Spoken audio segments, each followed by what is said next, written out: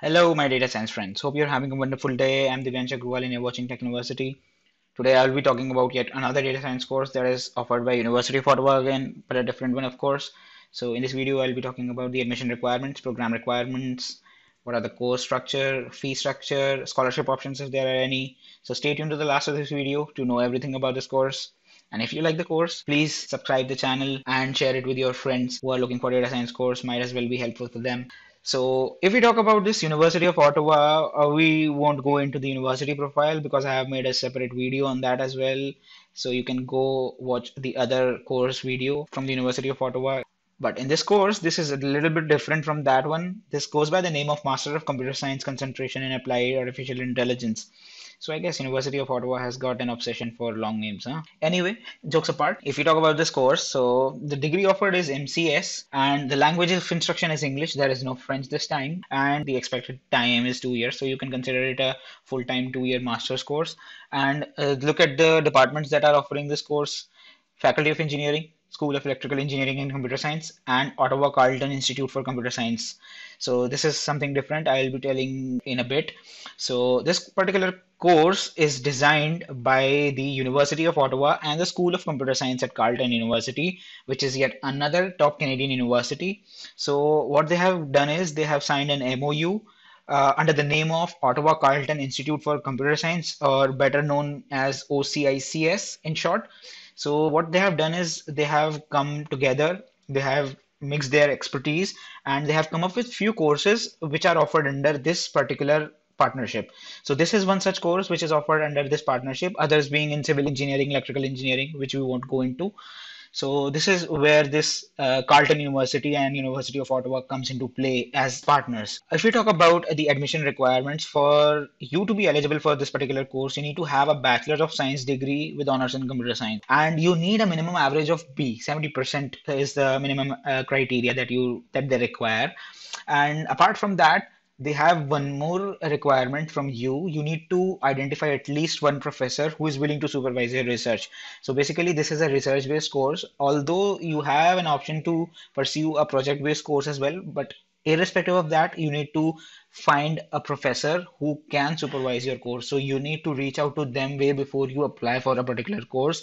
Tell them about your interest, get them to know you and uh, your research interests and get them to interest in your research interest or maybe you show interest in their research fields so that uh, they could be your potential supervisors. If you talk about the language requirements you need to have english proficiency. If you don't i mean if the first language is not english or you haven't studied uh, in an institute where English is the primary language of instruction, then you need to provide the language proficiency proof. If we talk about the India specific equivalencies, yet again, this is same as the MTTI course. So for masters, you need to have either a bachelor of three years and a master's or a four year bachelor or a postgraduate diploma, irrespective of the number of years you have studied in your bachelor's. So these are the three main classes that are eligible for this particular course and the minimum grade required is yet again the same. 61% if the passing grade is 35% 64% if the passing grade is 40% and 70% if the passing grade is 50% if we talk about this program's specific requirement is the deadlines for international student for this year was 31st of january. So more or less uh, for the next year as well it will be 31st of january as well for the fall intake. And uh, this course is available in full-time part-time english thesis based option is there and major research project or paper is there. And minimum requirements is you need to have a b plus. As i told you you need to have 70% in your bachelor's degree. And average time to complete is six terms. Six terms is equivalent to two years. So there are three terms in a year fall winter and summer. And the application fees for this particular course is 110 canadian dollars as well so if you convert it into Indian rupees, it turns out to be 6,350 INR as of the current rate. Apart from that, you need two recommendation letters. It can be from your professor or from your manager if you have some work experience. You need to have the transcripts of your bachelor's degree. And if you have done a postgraduate diploma, you have to have the transcript of that as well. For English language proficiency, if you don't lie into any of the categories that I told you earlier, you need to give the test. And for TOEFL, you need to have an IBT score of 88 or 89 out of 120 and an IELTS score of 6.5 and for individual, you need to have six in each of the subsections of the IELTS test. The required documents are letter of intent. So in the previous video the MDTA, there was no specification of letter of intent, but here they have specifically written that they want letter of intent that could outline your career goals and a proposed research area. So in maximum one or two pages, you need to outline your career goals and your proposed research area in which you are gonna uh, do the masters. So they expect you to have that research area in applied AI. So make sure you make a letter of intent in a way that uh, highlights your career goals in line with the proposed research area. And that too aligns with the applied artificial intelligence. And there are two different forms, preference form and additional forms. And you need a resume as well, of course, that is mandatory. So let's just see about the preference form. So what is preference form? This is the preference form that they have given. So this is a form that is prepared by the OCICS that I told you about. So in this, you have to select the option like this and uh, you need to fill up this form with the name. So you are going for this particular course. MCS program concentration applied artificial intelligence. Here you have to give the supervisor name right? And you can find the supervisors from this list. I will share this list as well. You can see. So if we go into the computer science department, so these are the people who can be your probable supervisors. And uh, you need to also specify two choices. I mean, in the applied AI, in which research domain you're gonna work. So these two will be considered as your uh, choice for specialization. One of these two could be a base for your research thesis. And if you also see uh, the another form, the the form that was I was talking about, additional form. So this is the additional form. So they need some details from you on your grades in your bachelor So these are the courses on which they need your um, specific marks. So discrete structures, it's a mathematics subject, uh, your grade and the maximum possible grade in that particular subject. Data structures, data structures algorithms too and formal languages, basically automata and databases, computer architecture, operating system, and software engineering. All of these subjects are taught in the BTech computer science curriculum. So you don't need to worry. You just pass your grade and the maximum possible grade in that particular subject. This is the form that you have to fill. Apart from that, if we talk about the program requirement. So this is the program requirement. These are the courses. If you are going for masters with thesis you are gonna submit a thesis into the department. So you have to complete three units of machine learning course and our ethics for artificial intelligence of three units. And apart from that there are optional courses worth nine units right? And three course units you have to complete from the theory of computing. Three course units you have to complete in software engineering, and three course units you have to complete in computer applications or in computer systems. There is a choice. So, and apart from that, there is a master's thesis that you have to complete. This is for the master's with thesis option. And this is the accelerated stream. We don't need to go into that because this is something for the people who are already into University of Ottawa studying there so you don't need to go into that. Basically who are doing bachelor's already there. So this is for them. And masters with coursework and project. So there is an option for you to go for the masters with coursework and project rather than going for a thesis. But anyway you will have to go with a supervisor.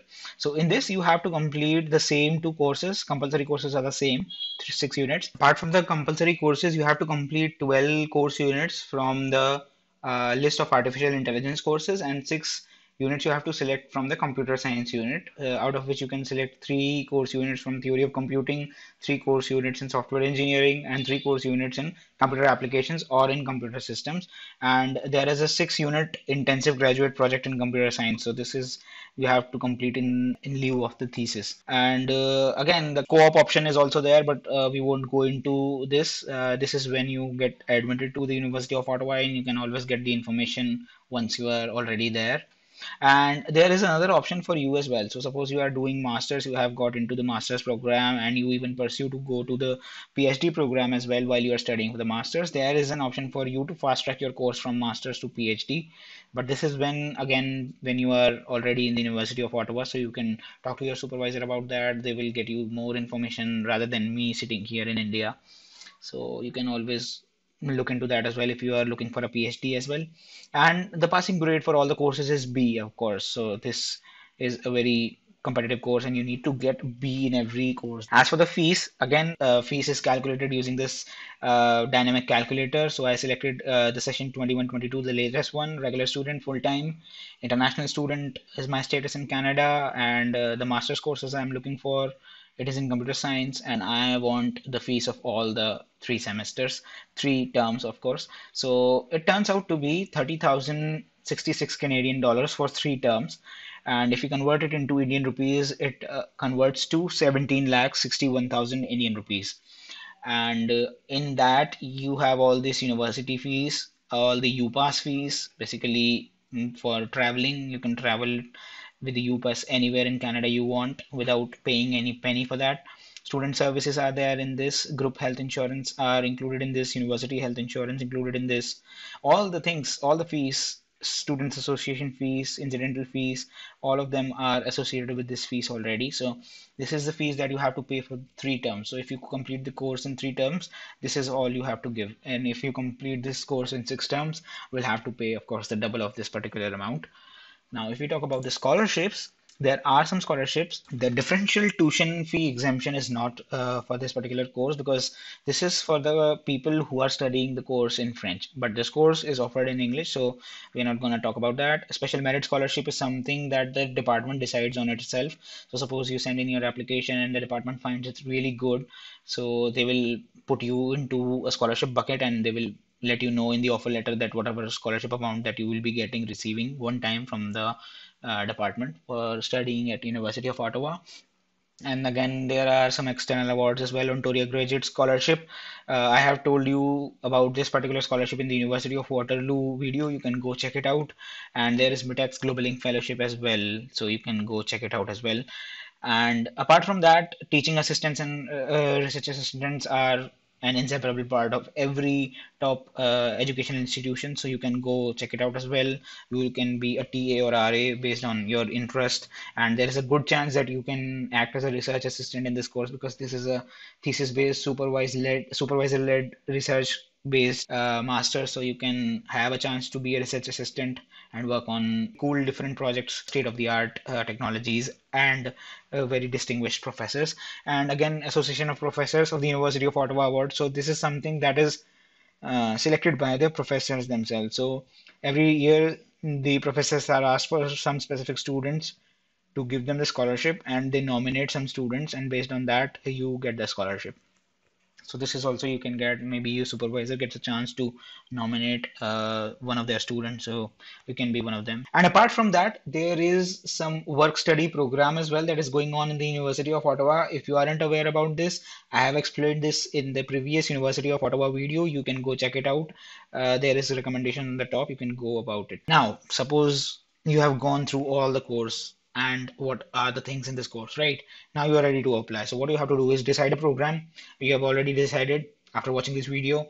Check application deadlines. You have to check. I mean, I just gave a tentative deadline. Uh, but once this application opens, you need to check the application deadlines.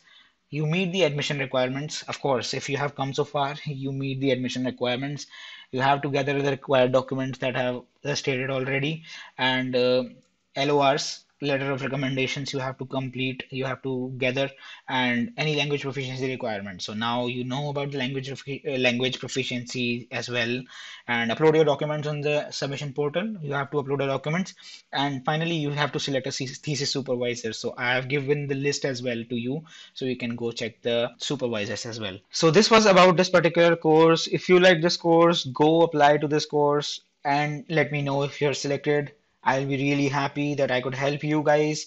And if you like the video, please subscribe to the channel. I keep posting this kind of content more often than not. And you will see some more videos coming along your way in the coming future. So stay tuned with the channel and you subscribe the channel. If you like the video as well, might as well share with your friends who are looking for data science courses because that would be helpful for them as well. So I will be coming up with another data science course in the next video. Till then, au revoir.